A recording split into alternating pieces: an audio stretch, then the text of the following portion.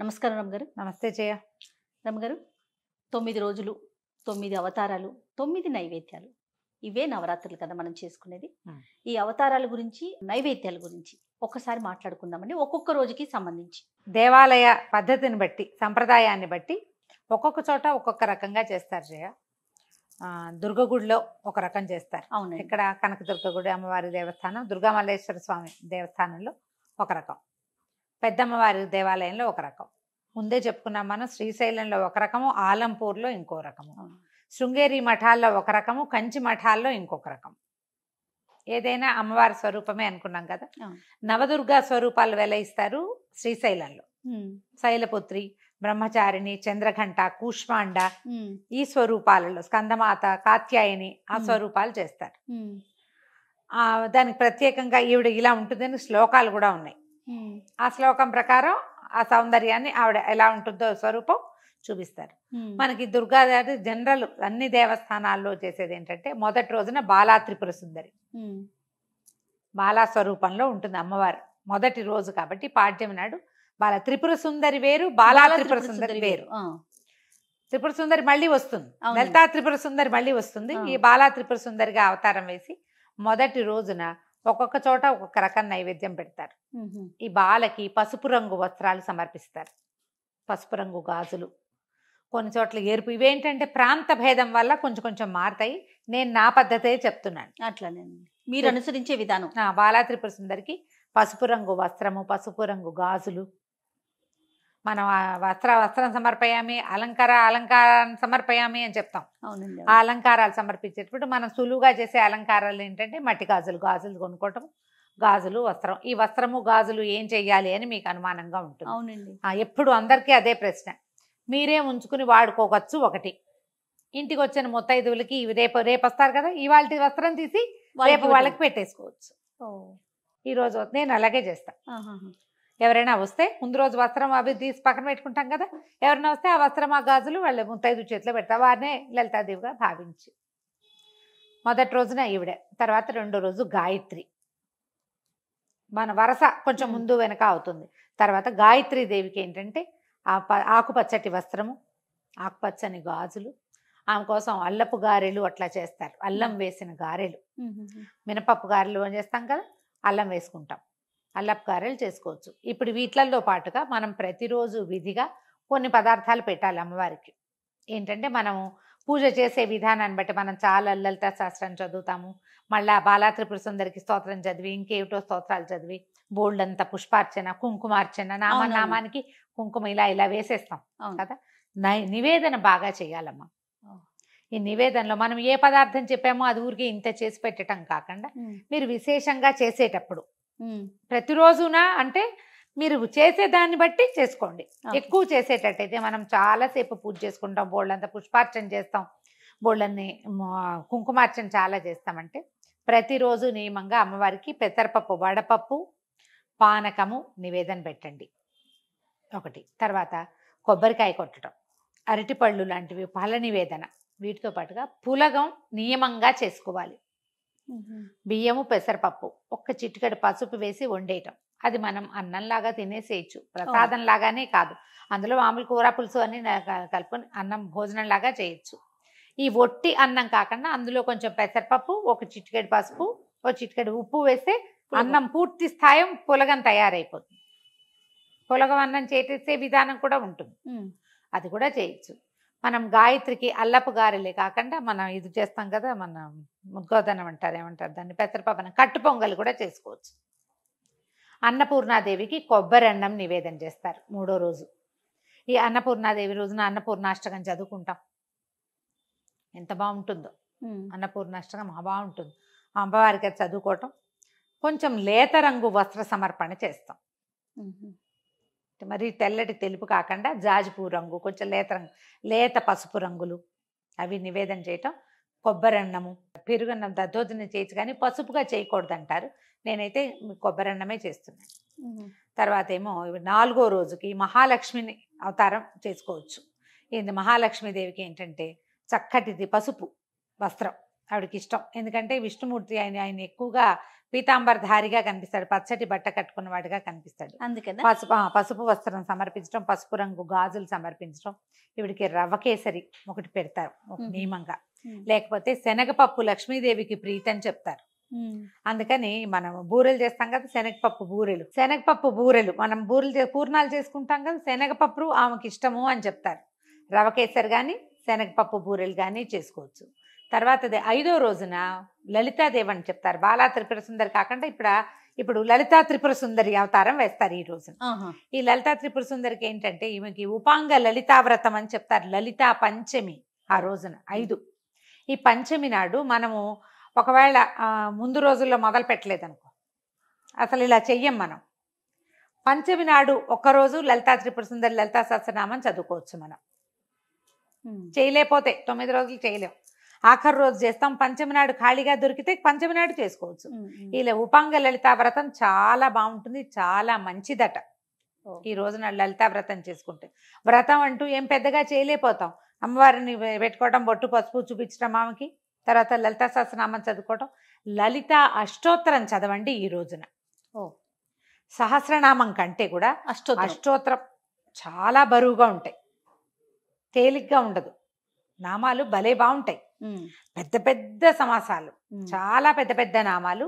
లలిత అష్టోత్తరం చదువుకోవటం. ఈ లలితాదేవికి గుడాన్నము శాకాన్నము పెట్టచ్చు. శాకాన్నం అంటే కూరలు అవి వేసి మనం మా మన ఎలా అంటే కలగలుపు అన్నం అన్నమాట. పులుపు వేయం అందులో. అన్ని కూరలు వేసి బిర్యానీ చేస్తారు.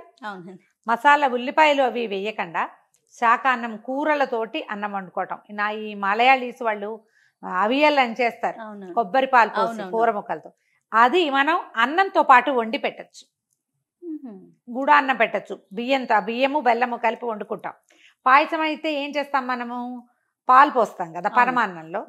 పాలు పోసుకుంటాం. ఇక్కడ పాలు పొయ్యం. పొయ్యకుండా బెల్లము అన్నం గుడాన్నం చేస్తాం. అది కూడా ఒక ప్రత్యేకమైన నివేదన. చక్కగా చేసుకోవచ్చు అది. కూడా. తర్వాత ఏమైంది? మూలా నక్షత్రం వస్తుంది. అవును. మూలా నక్షత్రం నాడు సరస్వతి పూజ చేసుకుంటాం. కొంత విశేషంగా చేస్తాం కదా? విశేషంగా చేస్తాం. ఈ మూలా నక్షత్రపు ప్రత్యేకత ఏంటంటే అమ్మవారికి తెల్లని వస్త్రం అంటే తెల్లటి ఎవరికి పెట్టం మనం. అందుకని తెలుపు మీద ఏదైనా డిజైన్ ఉన్నది పెట్టుకోండి. ఓహో. తెలుపు మీద ఏదైనా డిజైన్ ఉన్నది ఎరుపు లేదా పసుపు రంగు గాజులు సమర్పించవచ్చు. అయితే ఈమెకి ఏం చెప్తారంటే పెరుగన్నము నివేదన తర్వాత ఏమో కొబ్బరన్నము తెల్లటి పదార్థాలు పంచదారతో చేసిన పాయసం ఓకే.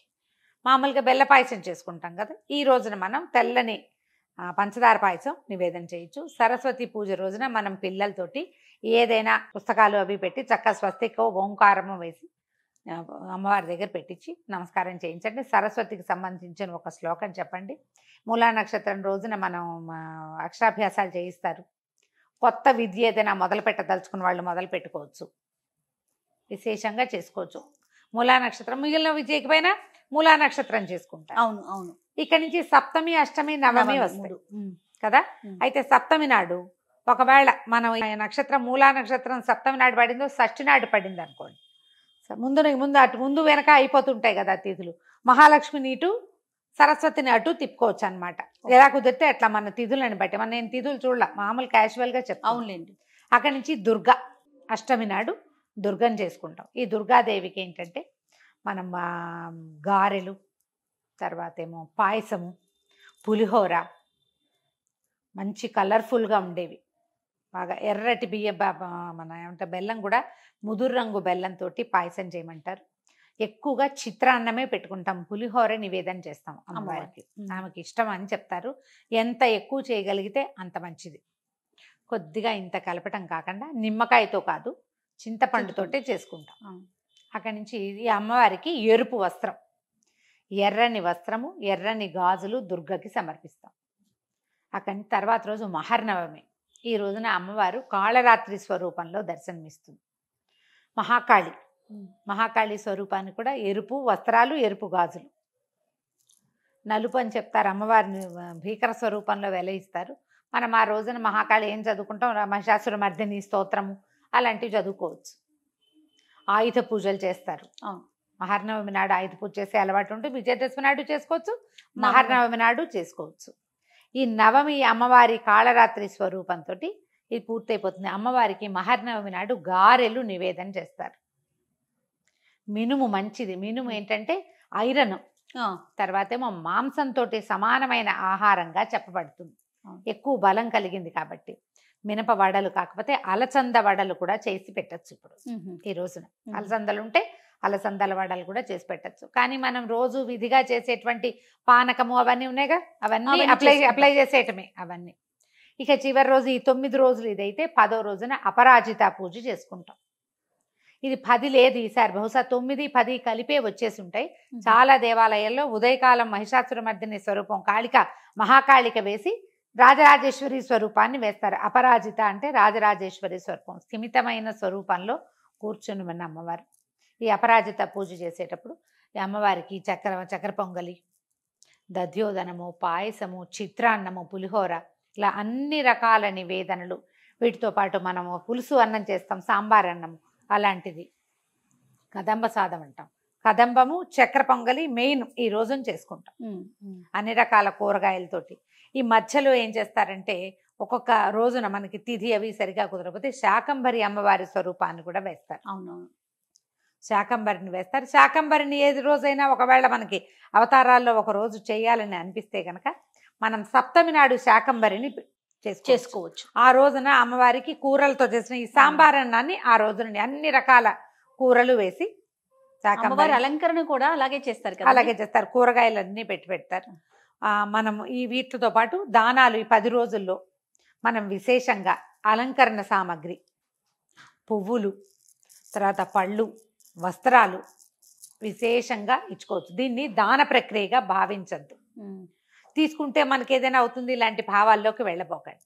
ఇది తాంబూలంగా వాయనంగానే. వాళ్ళు ఇవ్వాలి వీళ్ళు తీసుకోవాలి. ఒకే రకం చీరలైనా పర్వాలేదు డజన్ల కొద్ది ఎర్ర చీరలు పెట్టే వాళ్ళు కూడా కనపడతారు చీర.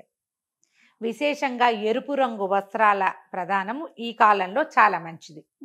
ఎర్రటి గాజులు ఎర్రటి వస్త్రాలు ఈ తిలకాలు బొట్టు పెట్టుకునేవి కాటుకు పెట్టుకునేవి తర్వాత చేతులకు వేసుకునేవి ఏవైనా అలంకరణ సామాగ్రి ఏవైనా సరే.